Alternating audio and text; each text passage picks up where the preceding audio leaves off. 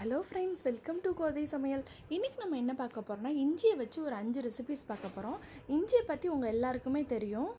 இம்யூனிட்டியை boost பண்ணுறதுக்கும் டைஜஷனை improve பண்ணுறதுக்கும் ரொம்பவே ஹெல்ப் பண்ணுது. இப்போ எப்படி பண்ணுறதுன்னு வீடியோக்குள்ளே போய் பார்க்கலாம். இப்போ நம்ம ஃபஸ்ட்டு பார்க்க போகிற ரெசிபி இஞ்சி சூப் இப்போ ஒரு குக்கர் எடுத்திருக்கேன். அதில் கொஞ்சம் ஆயில் சேர்த்துக்கலாம். ஒரு குட்டி கப் அளவு இஞ்சியை துருவி எடுத்திருக்கேன். அதை சேர்த்துக்குவோம். இது கூட கால் கப் அளவு கேரட் சேர்த்துக்கோங்க. கால் கப் அளவு முட்டைக்கோஸ். கால் கப் அளவு பீன்ஸ். ஆனியன் ஆப்ஷனல் தான் வேணும்னா சேர்த்துக்கோங்க. இப்போ இது எல்லாத்தையும் ஒரு டூ மினிட்ஸ் ஃப்ரை பண்ணிக்கலாம்.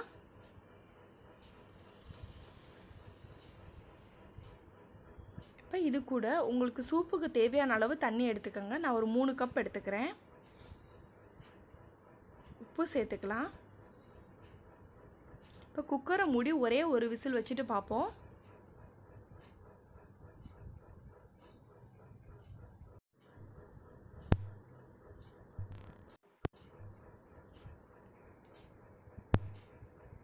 இப்போ பார்த்தீங்கன்னா வெஜிடபிள்ஸ் எல்லாம் நல்லா வெந்துருச்சு. இதை கொஞ்சம் கொதிக்க வச்சுருவோம்.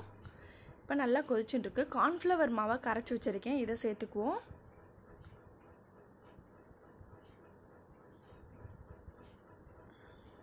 இப்போ இது கூட ஜீரகத்தூள் ஒரு அரை ஸ்பூன் சேர்த்துக்கிறேன். பெப்பர் பொடி. இப்போ மிக்ஸ் பண்ணிடலாம்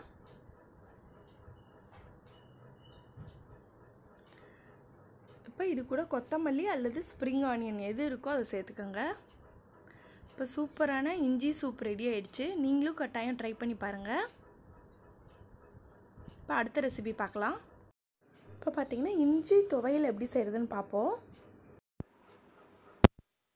ஆயில் சேர்த்துக்கிறேன். இது கூட இஞ்சி சேர்த்துக்குவோம். இதை நல்லா ஃப்ரை பண்ணிடுவோம் கொஞ்சம் கலர் சேஞ்ச் ஆகிற அளவுக்கு பண்ணியாச்சு. இப்போ இதை எடுத்து வச்சுருவோம்.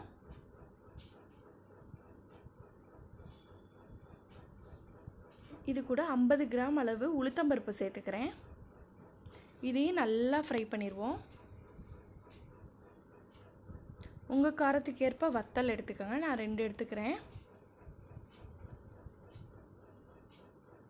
இப்போ உளுத்தம்பருப்பும் நல்லா கலர் சேஞ்ச் ஆகிடுச்சு இப்போ எடுத்து வச்சு ஆற வச்சுடுவோம். இப்போ அதே கடாயில் கொஞ்சம் கருவேப்பிலை சேர்த்துக்கோங்க. ஒரு ஒரு அரை கைப்பிடி அளவு இருந்தால் போதும். இது கூட புளி சேர்த்துக்கோங்க. இப்போ எல்லாத்தையும் ஃப்ரை பண்ணி ஆற வச்சாச்சு. இப்போ மிக்சி ஜாரில் மாற்றி அரைச்சிட்டு வந்துடுவோம் கொஞ்சமாக தண்ணி சேர்த்து அரைங்க ரொம்ப சேர்க்க வேணாம்.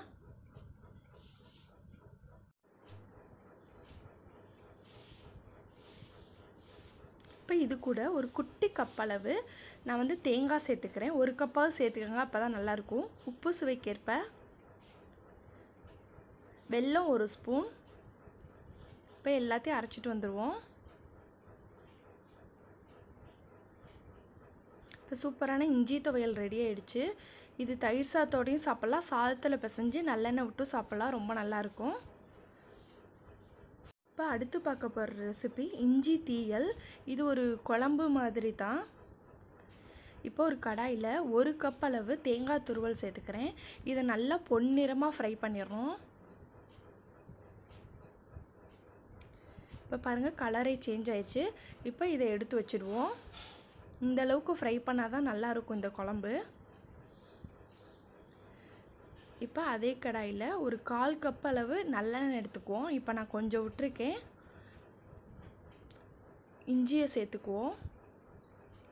இஞ்சியும் நல்லா ஃப்ரை பண்ணிடுங்க கொஞ்சம் கலர் சேஞ்ச் ஆகிற அளவுக்கு. இப்போ பாருங்கள் நல்லா கலர் சேஞ்ச் ஆகிருக்கு இப்போ நம்ம மிச்சம் வச்சுருக்க நல்லெண்ணெயும் சேர்த்துக்குவோம். எண்ணெய் கொஞ்சம் கூட விட்டால் தான் நல்லாயிருக்கும். இப்போ இது கூட கடுகு உளுத்தம்பருப்பு க கருவேப்பிலை வத்தல் இதெல்லாம் சேர்த்துக்குவோம். வத்தல் உங்கள் காரத்துக்கு ஏற்ப எடுத்துக்கோங்க. இதெல்லாம் லேசாக ஃப்ரை பண்ணிடுவோம்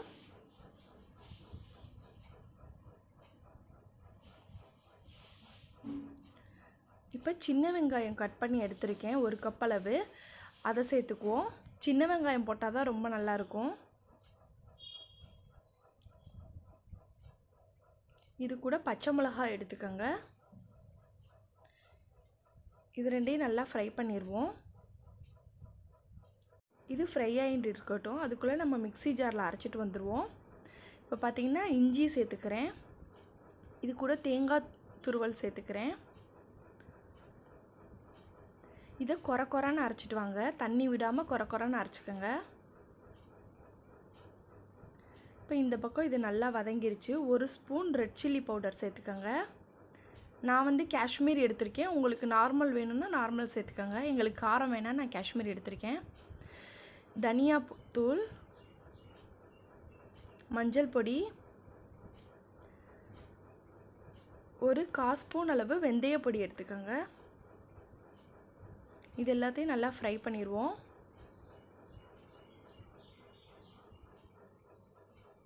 இப்போ மசாலாலாம் பச்சை வாசனை போகிற அளவுக்கு ஃப்ரை பண்ணியாச்சு. இப்போ லெமன் அளவு புளி எடுத்து கரைச்சி வச்சுட்டுருக்கேன். உங்கள் குழம்புக்கு தேவையான அளவு கரைச்சிக்கோங்க. நான் ஒரு அஞ்சு டம்ளர் அளவு எடுத்திருக்கேன். இப்போ உப்பு சேர்த்துக்குவோம். பெருங்காய பொடி. இப்போ நம்ம குறை குறைன்னு அரைச்சிட்டு வந்தோம்னா தேங்காய் இஞ்சி பேஸ்ட்டு அதை சேர்த்துக்குவோம். இப்போ எல்லாத்தையும் மிக்ஸ் பண்ணி கொதிக்க வச்சுருவோம். இப்போ பாருங்கள் இன்னுமே வற்றி வரணும். வெயிட் பண்ணுவோம். இப்போ நல்லா வத்திருச்சு. இப்போ இந்த கன்சிஸ்டன்சி கரெக்டாக இருக்குது இப்போ இது கூட ஒரு ஸ்பூன் அளவு வெல்லம் சேர்த்துக்கோங்க.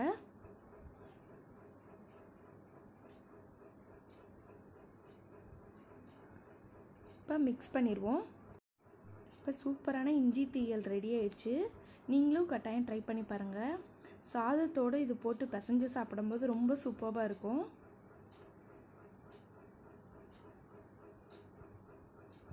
இப்போ அடுத்த ரெசிபி பார்ப்போம். இஞ்சி பச்சடி. இப்போ ஒரு மிக்ஸி ஜார் எடுத்துக்கிறேன். இதில் ஒரு கப் அளவு இஞ்சி சேர்த்துக்கிறேன். இது கூட தேங்காய் துருவல் ஒரு கப் சேர்த்துக்கோங்க. பச்சை மிளகா உங்கள் காரத்துக்கு ஏற்ப எடுத்துக்கோங்க.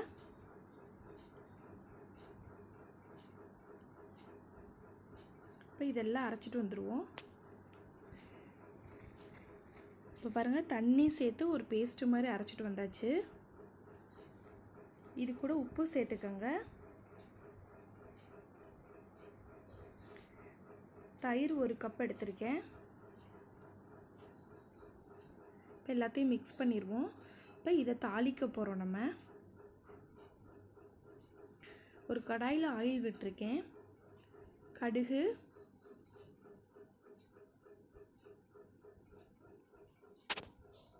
கருவேப்பிலை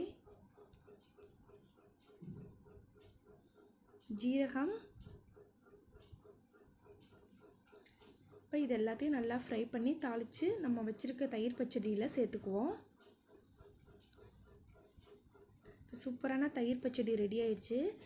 இது வந்து நீங்கள் வத்த குழம்பு சாதத்தோட தொட்டுண்டு சாப்பிட ரொம்ப நல்லாயிருக்கும் கட்டாயம் ட்ரை பண்ணி பாருங்கள் அடுத்த ரெசிபி பார்ப்போம். அடுத்து பார்த்திங்கன்னா இஞ்சி லேகியம். இது செய்கிறது ரொம்ப சிம்பிள் சாப்பிட்ட பிறகு நம்ம கொஞ்சம் போட்டுட்டோம்னா நல்லா டைஜஸ்ட் ஆகும். இப்போ ஒரு கப் அளவு இஞ்சி எடுத்திருக்கேன். இஞ்சி எடுத்த அளவே வெள்ளம் எடுத்துட்டுருக்கேன். இப்போ ஒரு கடாயில் வெள்ளத்தை வந்து தண்ணி ஒரு கா கப் விட்டுக்குவோம். இதை நல்லா கொதிக்க வச்சுருவோம். கொதிச்சா மட்டும் போதும். பதம் கிடையாது. இப்போ பாருங்கள் நல்லா கொதிச்சிருச்சு. நம்ம இஞ்சியை பேஸ்ட்டு மாதிரி அரைச்சிட்டு வந்திருக்கோம். அதை சேர்த்துக்குவோம். இது ஒரு அல்வா பதம் வர அளவுக்கு நம்ம நல்லா கலரிண்டே இருக்கணும். இப்போ பாருங்கள் இப்போ கொஞ்சம் நீர்க்க தான் இருக்குது இன்னுமே வத்த கலரணும். இப்போ நல்லா திக்காயிடுச்சு இப்போ இதை நம்ம வேறு பவுலுக்கு ட்ரான்ஸ்ஃபர் பண்ணிக்குவோம். பார்த்திங்கன்னா இது சாப்பிட் டைஜஷனுக்காக இது ஒரு ஸ்பூன் போட்டுக்கலாம். ரொம்ப நல்லாயிருக்கும் நீங்களும் கட்டாயம் ட்ரை பண்ணி பாருங்கள் இந்த அஞ்சு ரெசிபியும் உங்களுக்கு ரொம்ப யூஸ்ஃபுல்லாக இருக்கும்னு நம்புகிறேன் தேங்க்ஸ் ஃபார் வாட்சிங்